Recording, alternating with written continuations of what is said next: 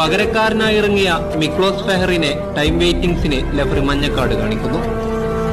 ആ കാർഡിന്റെ നിരർത്ഥകതയോർത്താകണം ഫെഹർ ഒന്ന് ചിരിച്ചു. മത്സരത്തിലെ ഏക ഗോൾ ആ ഹംഗേറിയൻ ഫോർവേഡിന്റെ അസിസ്റ്റിൽ ഫെർണാണ്ടോ അഗ്യർ നേടിയതാണ്. ചിരിച്ചുകൊണ്ട് പെട്ടെന്ന് അയാൾ നിലത്തേക്ക് മുട്ടുകുത്തി. പക്ഷേ മൂന്ന് മണിക്കൂറിന് ശേഷം മിക്ലോസ് ഫെഹർ മരിച്ചതായി ഡിക്ലെയർ ചെയ്തു.